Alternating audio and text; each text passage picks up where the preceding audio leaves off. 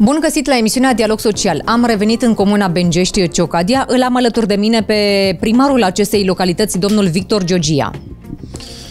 Bună ziua și bine ați revenit în comuna Bengești, Ciocadia. Bine v-am uh, regăsit. Uh, vă propun să continuăm uh, discuția pe care am avut-o la începutul anului, mai exact pe data de 22 ianuarie. La momentul acela aveați uh, mai multe investiții în derulare în localitate. Uh, discutăm acum despre stadiul lucrărilor la momentul acesta pentru fiecare investiție în parte. Și aș începe cu investițiile pe partea de utilități publice. Este vorba de introducerea sistemului uh, de alimentare cu apă și canalizare în satele Ciocadia, Bălcești, Bircei, pe o distanță totală de 27,5 km. Este un proiect, uh, din ce ne-ați spus uh, dumneavoastră, pentru că este vorba de o distanță totuși mare, uh, se va implementa în, în 3 ani de zile, un proiect în valoare de 15,7 milioane de lei, cu finanțare de la Uh, guvern prin Programul Național de Dezvoltare uh, Locală și cu o parte de cofinanțare uh, din partea UAT-ului Bengești Ciocadia în, în suma de 800 de mii de lei. Pentru Investiția la apă, uh, lucrările erau la momentul respectiv uh, în, uh, în lucru, în implementare, în satele Bălcești spre Ciocadia. Aici include 800 de branșări. S-au finalizat lucrările în, în aceste sate? De la ultima noastră discuție, lucrările au continuat și în satul Bălcești cred că mai sunt vreo 800 de metri și se va termina introducerea conductei. Urmând ca după aceea să începem în, în satul Ciocadia, s-a mai început o parte în satul Ciocadia, însă firma și-a schimbat după aceea, n-a avut conducta necesară și și-a reluat uh, activitatea în satul Bălcești. Acum să lucrează în satul Bălcești. Sper ca într-o săptămână de zile satul Bălcești să fie terminat cu introducerea conductei și după aceea să înceapă în satul uh, Birciș și în satul uh, Ciocadia. Eh, zic eu că au avansat foarte bine de la ultima noastră discuție, deși a fost această perioadă de pandemie în care oamenii au lucrat eh, mai restrâns, eh, să zic mai cu frică până la urmă, cu personal mai redus, dar totuși eu zic că s-au mișcat destul de bine și eu mereu merg la ei și le spun ca să facă tot posibilul să se încadreze în graficul de execuție al lucrărilor. Acum, vedeți dumneavoastră, este și o perioadă destul de grea. Uh, văd și la guvern că sunt fel și fel de contre, fel și fel de certuri. Sper ca guvernul să, să țină de promisiuni și să dea bani pentru lucrările pe care au fost începute, fiindcă nu are de pierdut decât uh, până la urmă țara și cetățenii respectiv, fiindcă prețurile cresc mereu și firmele încearcă pe orice cale ca să-și majoreze, să nu iasă pe pierdere. Dar, încă o dată, mă repet, sunt mulțumit ceea ce s-a făcut uh, până acum. Vreau să vă mai spun că și la partea de canalizare, tot în același proiect, care este un proiect amplu, așa cum spuneam de la început, s-au adus uh, materiale S-au, s-au lăsat o parte din materiale în satul Ciocadia, iar cele mai multe sunt depozitate în satul uh, Bengești. Uh, am promisiunea de la firma constructoare că se va, va începe și, și va demara lucrările pentru canalizare și ei sunt, până la urmă, sunt obligați să înceapă proiectul de canalizare, fiindcă tot din discuția pe care am avut-o noi la ultima noastră întâlnire, am definitivat asfaltarea celor 3, procedura de selecție a celor 3,5 km de, de asfalt în statul Bengești și în statul Ciocadia, respectiv drumul Mori, așa cum este cunoscut în, în comună. Sper ca în cel târziu două săptămâni de zile să dau ordinul de începere și să se apuce și de aceste lucrări de asfaltare. Lucrarea a întârziat din motivele pe care se știe la nivel, uh, procedura de achiziție este foarte grea, până a obține avize, până a, dar bucuros suntem că am reușit să implementăm și acest proiect și totodată ei sunt obligați, așa cum spuneam, să se apuce să, de canalizare ca să poată după aceea să pregătească terenul pentru a introduce asfalt și în aceste sate. Pentru că investițiile de introducere a apei uh, și a rețelei de canalizare în uh, satul Bălcești spre Ciocadia se apropie uh, de final, Aș, am, am spus că pe această porțiune uh, sunt uh, undeva la uh, aproape 800 de branșări. Vreau să vă întreb dacă branșările, uh, costul cu branșările sunt incluse în acest proiect. Vreau să anunț cetățenii că m-au mai întrebat o parte dintre cetățeni. Vreau să le spun că sunt incluse în acest proiect și branșările. Deci branșarea se va branșa până fiecare locuință până ce este pe domeniul public. Acolo va veni montat căminul și va veni montat apometru, iar fiecare cetățean, că nu este obligatoriu, fiecare cetățean care dorește să-și introducă apă în propria locuință va face pe cheltuia la lui.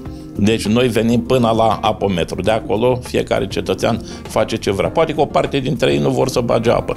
Și atunci e treaba lor. Dar noi am, în acest proiect este un proiect deosebit uh, față de cel de la Bengești, în care acolo a fost cu cizmele stradale și ulterior am fost nevoiți și la, ce, la presiunea cetățenilor și la dorințele lor și până la urmă era normal să fie așa ca să nu mai fie uh, rețea cu pompe și și-au introdus uh, apa în curte în gospodăria proprie pe cheltuiala lor. Aici finanțarea este altfel față de, de la Bengești, altă, altă, alt proiect și eu zic că este destul de bun, fiindcă oamenii nu mai fac o cheltuială inutilă și venim vorba, vreau să spun că și la aceste drumuri în care vor începe asfaltările, la fiecare proprietate este prevăzut intrarea, acces la gospodărie. Deci vor veni montate și podeță și șanțuri dalate de scurgere acolo unde este nevoie. Unde nu este nevoie, proiectantul a ținut cont, fiindcă nu are rost dacă nu este o gospodărie, la ce să facă până la urmă acces pe un teren care nu și are rostul. Deci așa, așa au fost proiectele, s-a schimbat legislația și așa ne-a obligat să le facem cu intrări și pe proprietăți. Dumneavoastră vă numărați uh, printre mulți uh, primari din județul Gorj uh, care uh, doresc implementarea unui uh, proiect foarte uh, necesar, uh, de actualitate și amplu în localitate. Se vorba de introducerea de gaze naturale. Uh, la dumneavoastră este vorba de introducerea conductei pe o distanță de 54 de kilometri, uh, un proiect în parteneriat cu comunele Dănești, Bălănești, Scoarța, uh, Bengești, uh, Ciocadia, aici unde suntem și noi, și uh, Novaciul. Uh, ați aprobat uh, bugetul, uh, banii necesari pentru studiul de fezabilitate? A început lucrul la acest studiu? Uh da, chiar, chiar astăzi de dimineață am vorbit uh, cu firma care va executa studiul de fezabilitate. A rămas cam marți să ne întâlnim, fiindcă luni nu se lucrează. Marți vor veni uh, de la Pitești și vom discuta toate detaliile. Deja noi am demarat, am uh, procedura. Sperăm ca să să implementăm și acest uh, program, uh, proiect de alimentare cu gaze. Este un proiect mai amplu. Acum, de ce să nu fiu corect și cinstit, uh, banii nu prea sunt, dar încercăm cel puțin să facem SF-ul ca atunci când se va lansa procedura de achiziție să avem SF-ul făcut ca să nu mai așteptăm după aceea iar să pierdem la timp. Deci am demarat procedura pentru a face uh, studiul de fezabilitate. Este un proiect destul de mare, un proiect ambițios, uh, un proiect care dacă se va implementa și acest proiect așa cum am implementat proiectul de aducțiune cu apă, alimentare cu apă și canalizare, se va implementa și acel proiect de aducțiune de, cu gaze în comuna Benceșogadea, consider că cred că viața și la țară se va schimba foarte mult, fiindcă cetățenii vor fi nevoiți până la urmă sau și atrași, nu chiar nevoiți, să se retragă și spre satul nostru, care, la satul românesc mă refer, care la ora actuală este destul de popular și destul, destul de îmbătrânit, ceea ce a făcut uh, ca agricultura să fie la pământ în România uh, și păcat uh, Eu am discutat cu foarte mulți tineri care pleacă în afară și îmi spuneau că ar vrea să rămână să muncească în România, dar să muncească pe un salariu câtuși de cât decent și să aibă câștiguri decente. Mă gândesc că prin aceste facilități pe care le avem, prin am extins și rețeaua electrică în, în statul Ciocadia și în statul Bengeș, tot cu dorința de a putea să-și construiască case, fiindcă sunt terenuri în intravilan și pot să-și construiască locuințe. Aceasta a fost gândirea mea și gândirea uh, colaboratorilor mei și a Consiliului Local pentru a crea facilități pentru a putea ca tinerii să se treacă. Restul nu depinde de noi, restul depinde de uh, guvern, rest depinde de parlament, ce măsuri vor lua, dar uh, părerea mea sinceră deși nu suntem la o emisiune politică, pot să-mi permit să spun uh, părerea mea sinceră că dacă salariile în România nu vor fi cele aproape cel puțin de Uniunea Europeană, tot greu o vom duce, fiindcă fiecare cetățean și fiecare om care pleacă în afară pleacă, pleacă după un trai mai bun, adică vrea să câștige. Traiul nu pot să spun că este mai bun atâta timp că familiile nu sunt uh, unite, nu sunt întregite. Dar uh, neavând venituri, atunci sunt nevoiți să plece în afară. De aceea noi ne zbatem și căutăm toate facilitățile și toate posibilitățile ca să putem să dezvoltăm satul românesc așa cum a fost el până în 1989, ca să fiu corect să spun ce era satul românesc până atunci și ce populație era.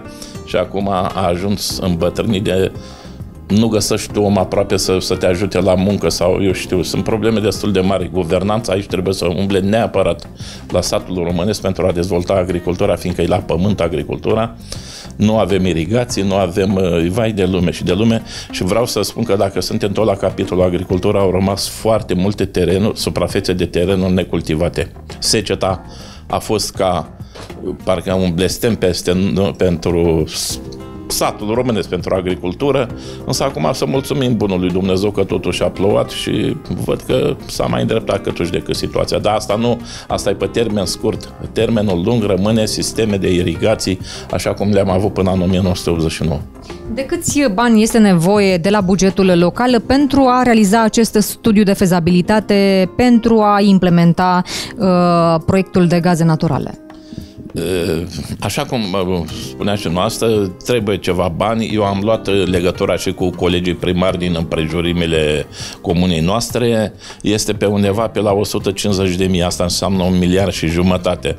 Însă eu am discutat cu cei care vor întocmi studiul de fezabilitate și ceilalți colegi tot aceeași propunere au avut-o ca și mine ca să plătim banii atunci când proiectul va, studiul va fi aprobat aprobat și îl vom băga la finanțare. Deci vom băga la finanțare ca să facem proiectul, ă, atunci vom da și banii. Așa nu putem să dăm banii. Firma care se ocupă probabil ă, știe că va veni și finanțarea, fiindcă uh, trebuie să se facă ceva și în domeniul uh, gazelor și atunci vom plăti banii. Dacă nu trece proiectul, nu vom plăti nici noi banii și vor rămâne cheltuielile numai care sunt să le facem pentru ridicările topo. Aveați în, în lucru un pod în satul Ciocadia.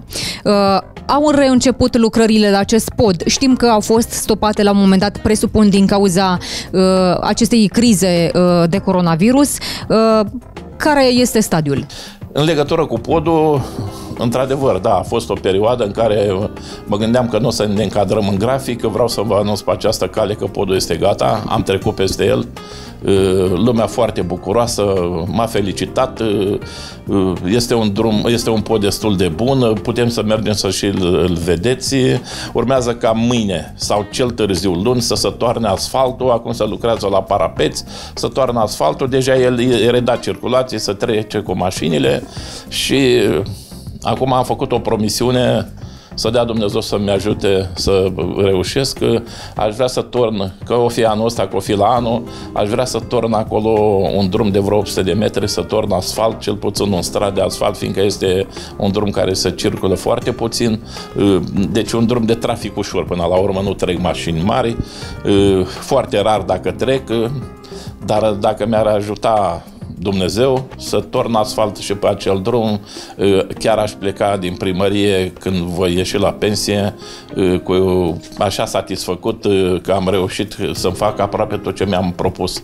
Deci oamenii sunt foarte, foarte bucuroși m-au ajutat, le mulțumesc cel puțin că m-au ajutat cu sfaturi, m-au îndemnat să nu cedez, n-am cedat și am terminat. Fiindcă suntem tot la capitolul investiții, vreau să vă spun că am demarat procedura de achiziție la Centrul de Incluziune Socială. Trebuie să facem, este făcut un anunț în SEAP, deci este vorba despre fosta grădiniță de la Bengești. Anunțul este făcut în SEAP. Termenul de depunere al proiectului uh, al uh, ofertanților este până pe data de 15 iunie. De data aceasta sperăm să vină ofertanți, fiindcă s-au recalculat prețurile. Uh, eu zic că este o investiție destul de bună și acceptabilă și pentru constructor. Sper ca de data aceasta să vină, fiindcă ea a mai fost scoasă, dacă se urmăreau toți pașii și de, probabil aproape era gata investiția. Noi n-am avut nicio vină, fiindcă nu a venit nicio firmă la, la licitație și de asemenea am mai întâmpinat greutății cu căminul de la Bengești, nu am primit aviz de la de la Târgu Jiu, de la Culte, a trebuit să refacem din nou, am reușit până la urmă cu Chin cu Vai să reușim, acum va urma și căminul de la BNG să fie scos uh, la licitație. Sunt lucrări destul de ample în comună, lucrări foarte complexe, bani foarte mulți. Uh, uh, sperăm ca și guvernele care, ca guvernul care și care vor veni să ajute să implementăm aceste proiecte, fiindcă sunt numai în, în favoarea cetățenilor, comunităților din care facem parte și la comunitățile în toată țara. Noi am mai scos odată lucrarea la licitație, acest cămin însă nu a venit nicio firmă și am fost din nou, fiindcă legislația mă raportez încă o dată și critic pe această cale, legislația achizițiilor este foarte proastă, foarte proastă și foarte mulți pași și să pierde foarte, foarte mult timp care nu știu de ce îngreunează această licitație, ele să fie într-adevăr pe SEAP, să fie transparente, dar nu atâția pași de mulți făcuți ca să tragem de timp, pentru că de multe ori timpul pe care uh, ai obții finanțarea, obții finanțarea și obții toate avizele până ai emiți autorizația de construcție este mult mai mare față de timpul în care se finanțează, se lucrează, adică lucrarea este gata. Deci foarte mult timp să pierde până în scriptologie, în hârtii. Vreau să menționez că proiectul de modernizare a căminului cultural din satul Bengești este uh, finanțat uh, de Uniunea Europeană. Da, uh, finanțate și școala și căminul sunt finanțate de, din fondul. Da.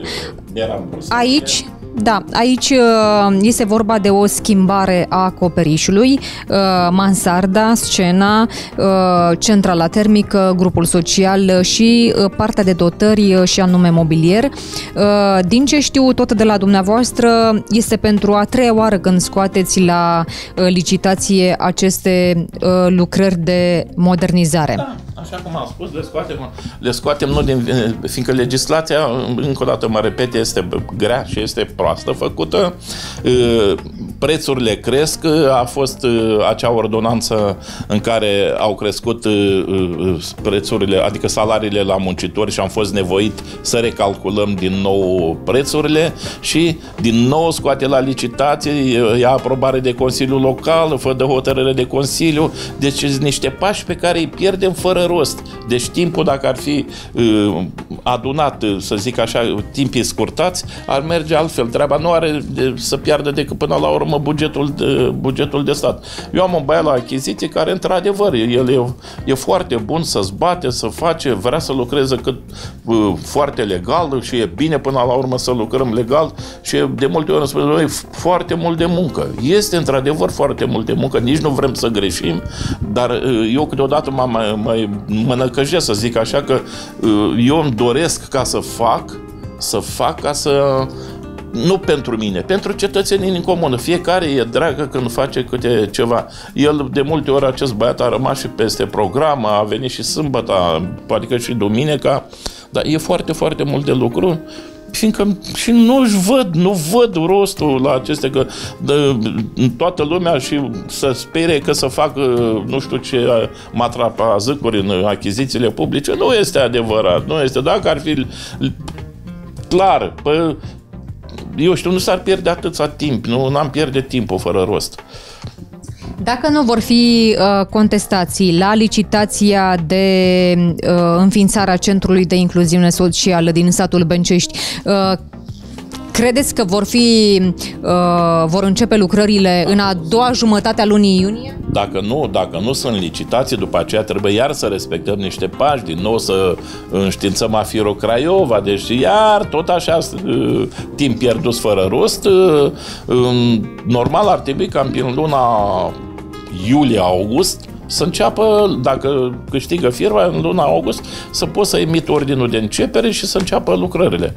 E o chestie, până la urmă, și de suflet această, fiindcă a fost prima școală din comună și să dărâmă.